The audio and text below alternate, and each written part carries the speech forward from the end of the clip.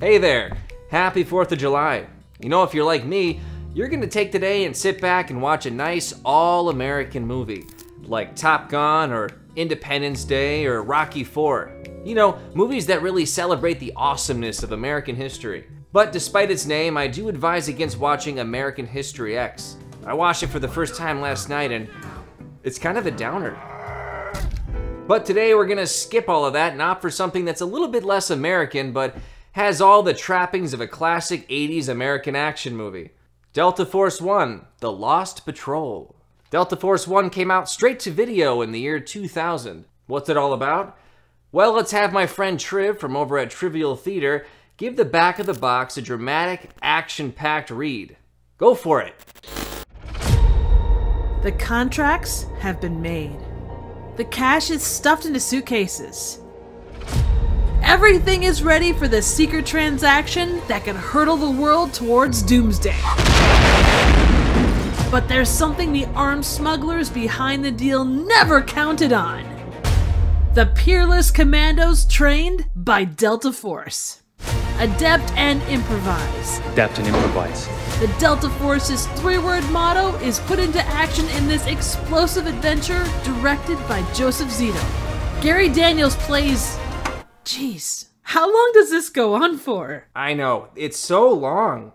Keep reading. Gary Daniels plays the team leader of specialists sent into territory claimed by two Middle Eastern nations. It's a rescue and recon foray, but it soon becomes a search and destroy mission requiring all of the patrol's courage, smarts, and fighting skills. Because the unit discovers the terrorists have acquired a nuclear weapon, and the launch countdown is underway.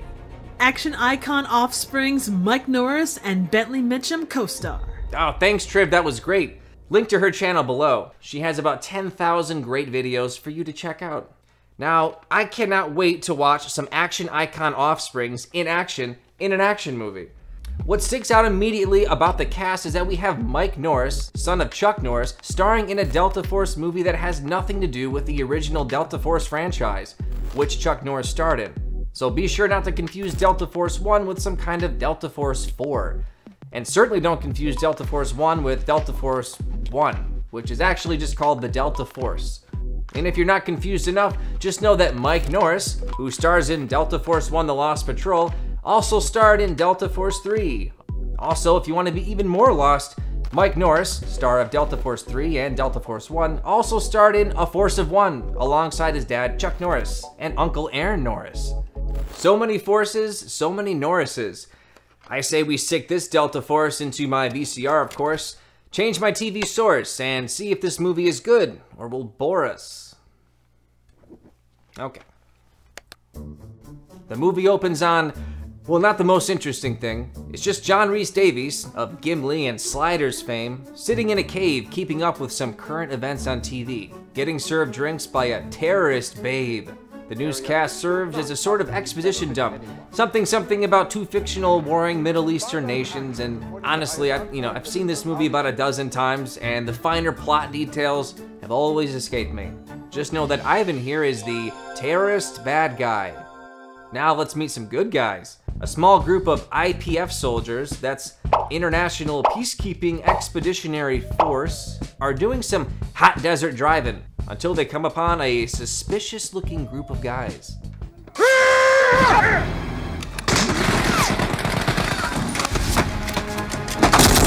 and points to this movie for the machine gun mounted camel, which is a thing, I guess. A very awesome thing.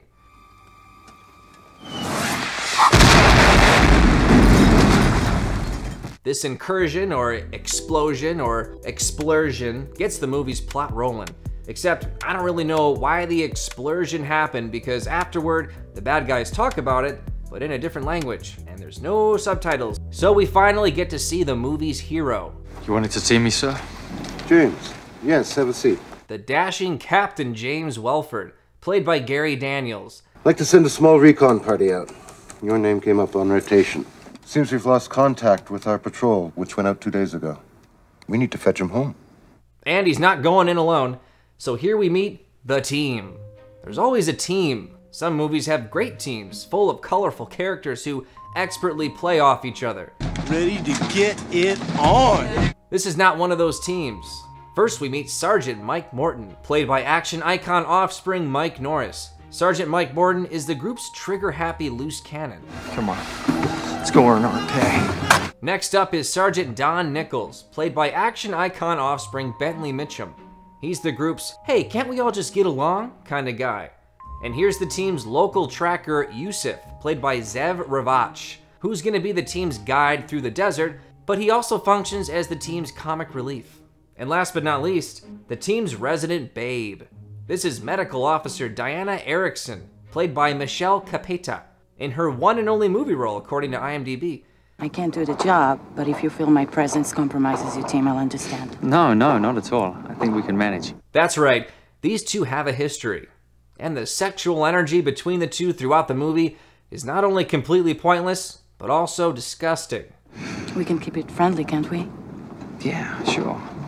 Besides, we'll always have Paris, huh? Oh, that's cute.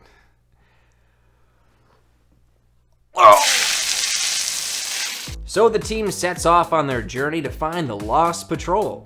And it isn't long until they get spotted by the vicious group of bad guys. موجة وراه موجة بيرجعوا اسمح لي على رفيق يا سيدي كولونيل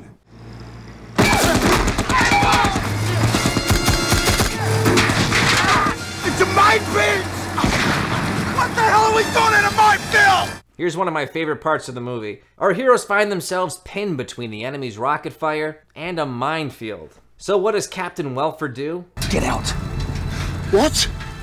Come on! Well, he does the bravest thing of all and has his tracker Yusuf get out of the truck and very slowly walk in front of the truck and point out the mines to guide their vehicle. And if that wasn't enough, Captain Welford has Yusuf get back in the truck and then tells Sergeant Nichols to floor it Punch it, Nichols. Say again, sir. Come on, let's go! while he just sits on the roof and shoots the mines with a gun. We could have died back there! But you didn't. So you tell that to the guys you lost in the second Jeep. I'm actually gonna side with Sergeant Morton on this one. Captain Welford, you witnessed the majority of your crew get demolished by the enemy, and you don't even want to do anything about it. Oh, I get it. Seems like the only missile you're interested in is that surface to babe missile in your pants. You pervert. Anyway, not one minute after their first ambush, Captain Welford leads his soldiers right into another. And this one's a doozy. They just get bombarded by rocket fire, each rocket missing more than the last. Incoming! Watch out, that rocket is slowly falling down on you. After losing yet another jeep full of soldiers, the captain and company decide to make camp and rest up for another day of hot desert action. Meanwhile, not too far away, there's this whole other child character arc happening. And the child is pissed off because he happens to be the son of one of the guys who got blown up in the first scene. He snoops around a digging site and winds up stumbling upon the terrorists' secret hideout. A secret hideout with a secret nuke. Back at the Jeep, the gang comes upon a sizable group of random nomadic people. Mike Morton gives his official threat assessment, and Captain Welford ain't liking it. No, we're not here to fight. Yeah, so tell us! Tell them! I'm still in command of this truck. Yeah! We started with three! Again, that's a really good point.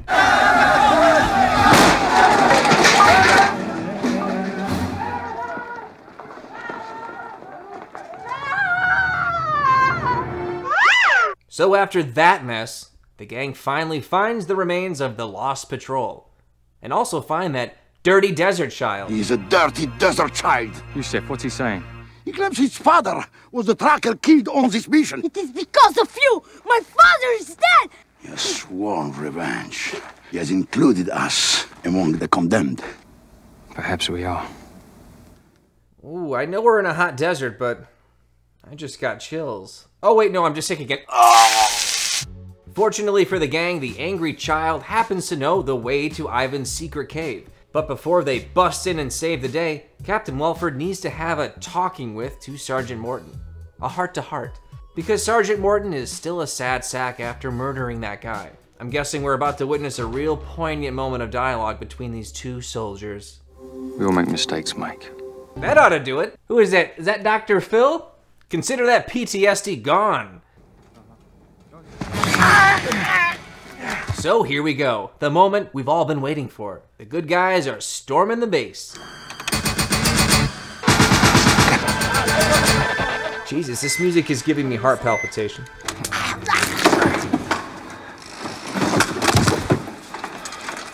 you work that? DEC Super, 14 parallel processors on the Semi-C. Yeah. It's just making love. Oh god, I thought we were done with this. Oh! Before long, half of the group gets captured by Ivan and ponytail terrorists. No! Allow them to live with their failure a little longer. John Rhys Davies is obviously a really good actor, but Ivan here is not good.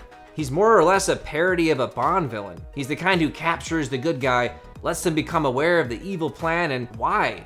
What's the point?